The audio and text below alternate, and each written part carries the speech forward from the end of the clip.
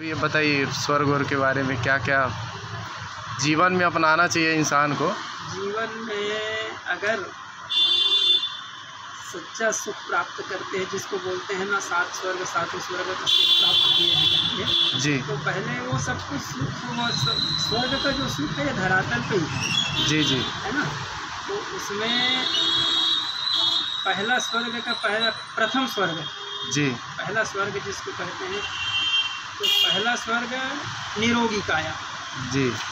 शास्त्रों का प्रमाण है कि पहला स्वर्ग जिसका शरीर स्वस्थ है जी। निरोग है।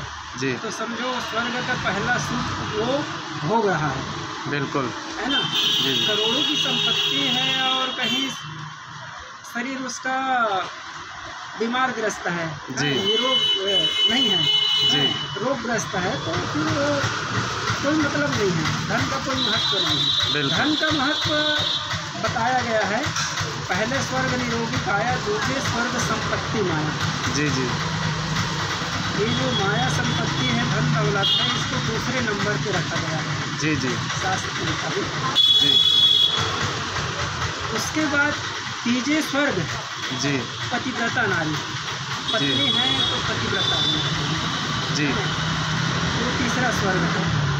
और चौथे स्वर्ग तीन तो हो गया तीन प्राप्त कर लिए ठीक है? जी जी। तो चौथा स्वर्ग है पुत्र आज्ञाकारी। जी जी। है गृहस्थ जीवन में है पति पत्नी है धन संपत्ति है तो पुत्र जो है अगर घर में पुत्र आज्ञाकारी है तो चार स्वर्ग उसको प्राप्त है। बिल्कुल। है ना? जी। उसके बाद पांचवा स्वर्ग पांचवा स्वर्ग पूर्मा ही निवास है पूर्व यानी शहर में निवास होना चाहिए। बिल्कुल। है ना? ये पांचवा स्वर्ग है। जी। और छठे स्वर्ग जल हो ही बासा। शहर में निवास होना चाहिए तो घर में उनका गंगा का निवास होना चाहिए जल का निवास होना चाहिए। क्योंकि जल है तो कल है। आज भी लोग जल के मतलब संचय करने के लिए बहुत सारे उपाय कर रहे बिल्कुल। हैं घर में हार्वेस्टर लगा रहे हैं ये सब मतलब उसको सरकार भी मान्यता दे रही है। बिल्कुल। इसके बगैर शहर में घर बना रहे हैं तो उसको सरकार जो है हार्वेस्टर लगाएँगे तब अनुमति देता है घर बनाने के लिए। बिल्कुल बिल्कुल बिल्कुल। तो इसलिए पानी घर में होना ज़रूरी है। जी बिल्कुल। जल का होना ज़रूरी है। जी। और छठे स्वर्ग जी। छठवा स्वर्ग तो हो गया जल। जी। उसके बाद सातवां स्वर्ग जो है सातवें स्वर्ग राजघर होई। जी जी। सातवां स्वर्ग जो है परिवार का कोई भी सदस्य जो है राजनीति में कोई भी मतलब छोटा से छोटा भी हो अगर जी। राजनीति से जुड़े हुए मतलब संपर्क में है जी। तो घर में कोई भी ऐसा मामला आ जाए तो वो निपटा लेते हैं। आराम से। तो ये अगर सात चीज़ है तो वो घर बैठे सातों स्वर्ग का सुख वो घर बैठे प्राप्त घर बैठे प्राप्त कर सकते बिल्कुल। ये है। जीवन में ये सारी चीज़ों को अपनाना चाहिए भैया। तभी आदमी को शांति और सुख मिलेगा। वाले इंसान को ये सातों स्वर्ग मिलेगा। मिलेगा। कुछ ना कुछ कमी रह जाएगा। कुछ ना कुछ कमी रहेगा। आपके पास धन दौलत है तो पता चला आपका बेटा आज्ञाकारी नहीं है। आपकी बात नहीं नहीं सुन रहा है तो व्यर्थ है सब कुछ। व्यर्थ है। बिल्कुल। हैं? बिल्कुल। सब कुछ है पुत्र है धन है पत्नी सही नहीं है तो भी व्यर्थ है जी, जी। बेकार है जी जी। कितनों भी धन संपत्ति है पत्नी सही है पुत्र सही है शरीर रोगी है। रोगी है बिल्कुल। स्वस्थ नहीं है बिल्कुल। बेकार है। बेकार है बिल्कुल। शहर में आप निवास कर रहे हैं और पानी की सुविधा नहीं है हाँ बिल्कुल। भी आपका महल बेकार है ना? बेकार है। पानी का महल बेकार है। बिल्कुल सही बात। है ना? बिल्कुल। बहुत अच्छी बात बताए भैया। जीवन में ये सबको लागू करना चाहिए अपने जीवन में लाना चाहिए। और ऐसे अपने आने वाली पीढ़ी और बच्चों को संस्कार भी देना चाहिए। ये सारी चीज़ें बताना चाहिए भैया। तब ये सारी चीज़ों का महत्व लोग समझेंगे। और आगे के लिए फिर सबको अच्छा होगा। क्योंकि एक आदमी से ही बदलाव शुरू होता है।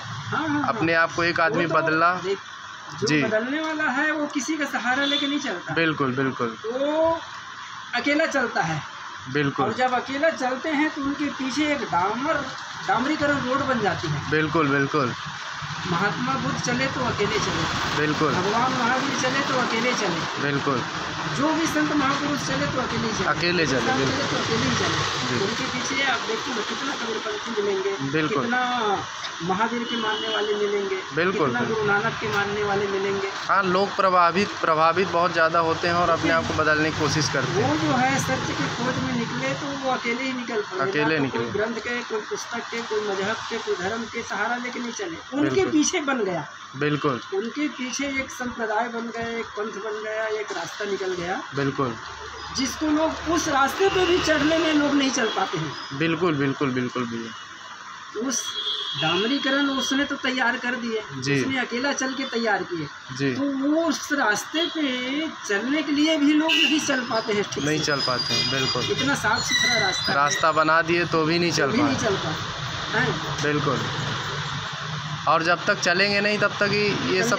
हाँ बिल्कुल कल्याण नहीं होगा आदमी खुश नहीं रह पाएगा पूरी तरह मनुष्य जीवन जो है बिल्कुल। बड़े भाग्य मानुष बिल्कुल। जी जी। जी मनुष्य जीवन बड़े भाग्य से मिला है। बिल्कुल। चौरासी लाख योनि को भ्रमण करने के बाद में मनुष्य जीवन मिला है। मनुष्य जीवन मिला है कि इसको ऐसा लोग हो रहे हैं हम्म। हैं, रात गंवाया कह- कहते हैं दिन गंवाया खाए के और हम्म रात गंवाया सोए। सोए। और मानुष जन्म अमोल है कौड़ी बदले खोए। बिल्कुल। तो इसको लोग समझ नहीं पा रहे महत्व तो नहीं दे रहे हैं। महत्व तो नहीं दे रहे हैं तो उस हिसाब से जीवन भी है। मानव को और एक बड़ी बात है। बिल्कुल। सबसे बड़ी चुनौती है। मास्क रखें। हाँ बेटा।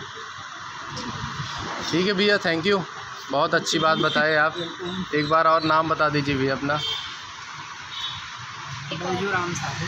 बैजू राम साहू रायपुर छत्तीसगढ़ से। धन्यवाद भैया। धन्यवाद।